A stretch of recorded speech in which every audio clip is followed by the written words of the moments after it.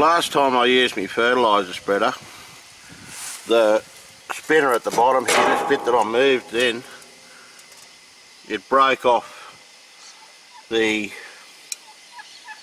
shaft where it's welded on there, it's been welded on and, and it come round here and bent this bit and I'm sort of wondering how I'm going to fix it. That, the old, I'll just tip it up, lay it down on its side.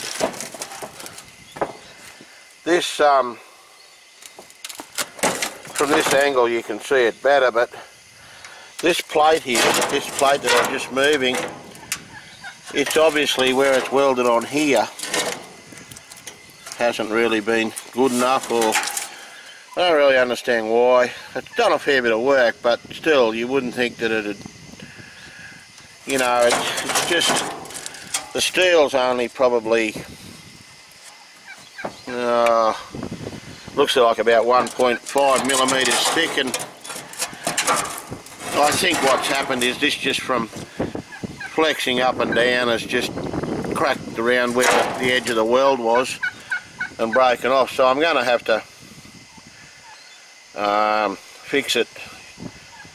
And I don't really want to have to take the shaft out of it and everything it's a pretty big job to do that so what I think I'm going to try and somehow do is cut another disc which I'll probably use stainless steel this time and um, probably split it and get it on there and weld it, weld it on, weld it on. Um, and this thing here, where this um, guard is that stops the fertiliser coming forward and it also takes this part, it also takes this part here, which alters whether it goes whether it goes uh, straight out e even either side or out to the right or out to the left. You can see these things here. So what I think I'm going to do is take that apart make a new one of them as well out of stainless I'll just copy it drill the holes in the same place. These brackets here this one here is still alright but this one here when it went crazy this one broke so I've got a little bit of a job in front of me. So we'll see how I can go about fixing it. Okay here's all the stuff here's all the stuff that I've cut off I used a 5 inch angle grinder or 125 millimeter disc angle grinder 1 mil thick disc and cut all the parts off that I had to fix this is what this is what it looks like now and see up here there was brackets that held that angle piece, that guard on. They were just made out of light, really light shit, pardon the expression, but they were only made out of steel, probably, again, one and a half millimetres thick, mild steel. So I'll clean all that up and I'll replace it with something with a little bit more guts. And while I'm at it, I'll oil all this machine. This machine's not that old, probably about three years old, but really, you know, and I've, I've religiously washed it. Every time I've used it, I've washed it and put a bit of oil on it, but basically, really, I suppose fertiliser is very corrosive, but, you know, if you look here at the galvanised steel on the thing, perfect, not a, not a blemish. You know, like, it's as good as the day it was made. Why they don't for a few extra bob galvanise the rest of it, it lasts forever, but I suppose I want you to buy another one or something, I don't know. Anyway, I'll fix her up. On the actual spinner disc, if you look where it was welded on, like that's the very edge of where the weld was, you can see that the metal, like, it's corroded away, it wouldn't have been even half a millimetre thick. So that's why it's failed, but you know, like bloody corrosive stuff. And you know, I acknowledge that it's not entirely its fault because it is very corrosive substance, but wouldn't you think for a few extra bucks they'd, you know, use some material that would last a bit longer than three years. Anyway, I guess it is what it is. I've got me circle cutter on my plasma cutter and I'm going to try and cut out a circle to replace the one that is all rusted out. This is stainless steel, it's 304, it's not marine grade, it's just structural grade, but it'll last a lot longer than the mild steel. We'll see how we go. something. Um,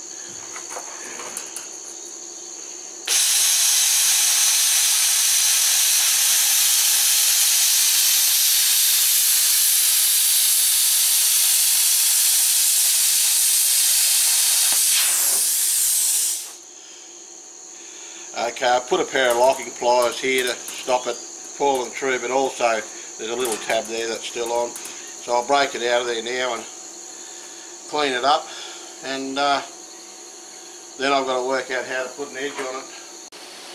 I've got some parts cut out now and worked out how I'm going to do this.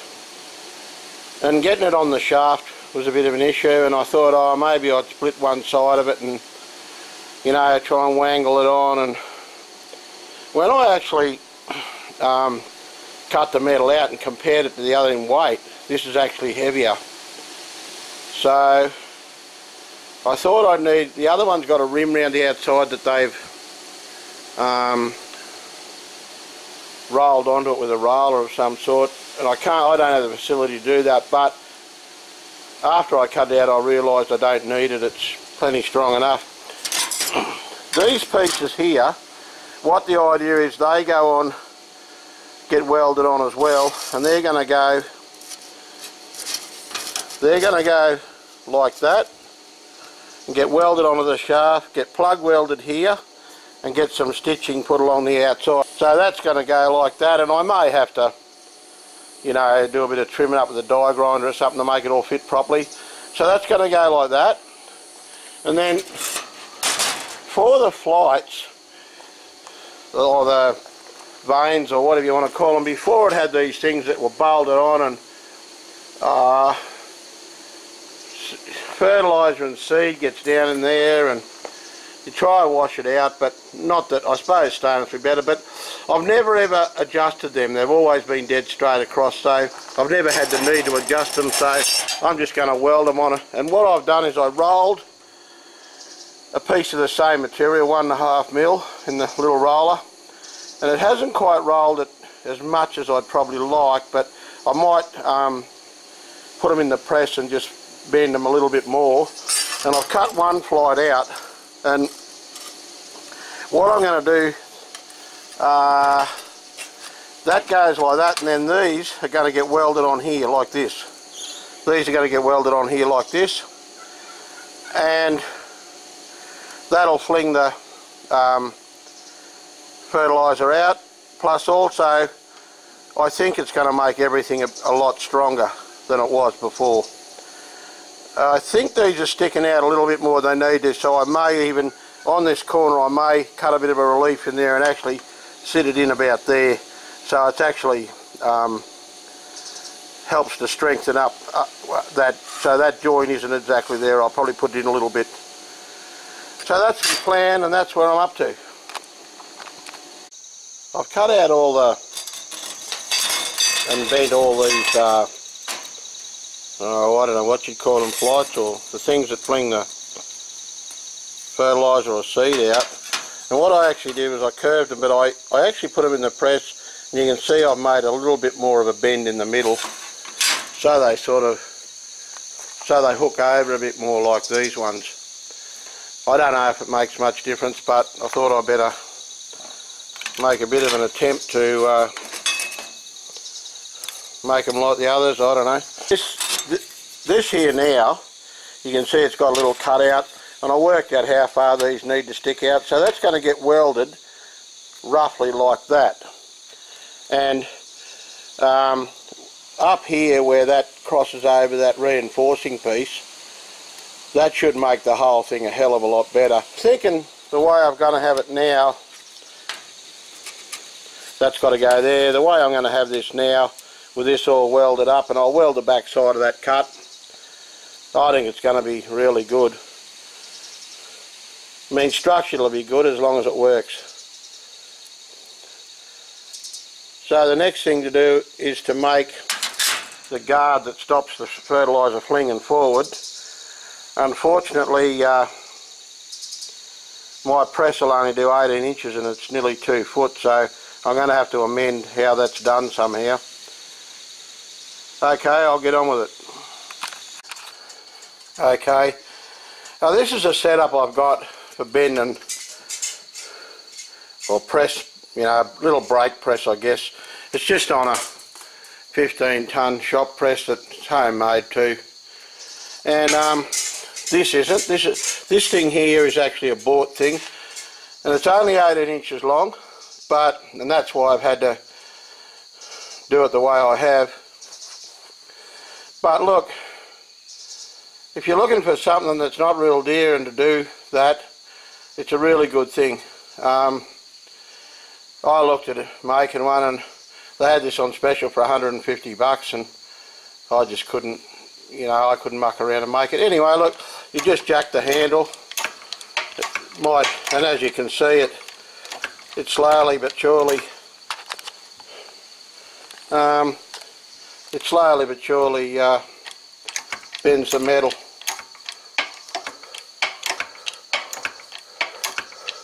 An air jack on it would be a lot better. Anyway so you can see it's bending it up probably a bit slow but I tell you what it's a lot better than um, trying to do it over a bit of wood with a hammer or something.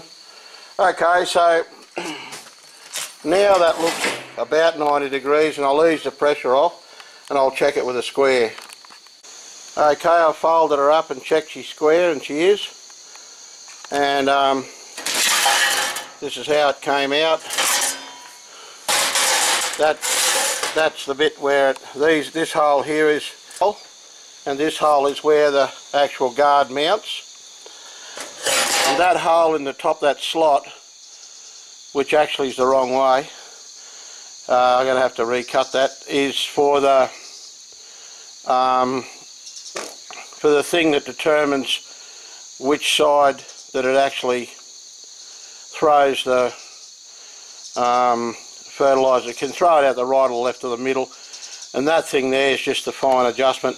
Having said that it may not actually matter. I don't think it will actually. I think it'll still work on that side, so that'll be okay. Yeah, no, uh, it will. Yeah, no, that'll be alright. Okay, well, I'll get on with bending some ends up to put in here now, which is a bit of a balls up, but it's all I can do. I've made the bits, one here and one here, to put in the ends. I've just put that bit in there with a pair of lock pliers to see and you can see the radius just here is slightly different but that's alright I'll when I tack it in here I'll just put that on the anvil and panel beat it a bit so they're the same before I weld it. So that'll come out good. Probably could have left that piece out but oh, I don't know. It was in there and I sort of suppose I think that maybe I'll get you know more fertiliser on the tractor or something and I really don't want to I bloody uh, we, I get a little tiny bit now, not much. I mean, I wash it off and everything, and I keep the back end of the tractor oiled because it's in, unavoidable that you get a bit, but I don't want any more than I have to. Anyway, thanks a lot for watching. That's about it for part one of this video, and tomorrow when I finish it, I'll see how it comes out and put it all back together and test it and see if it works good.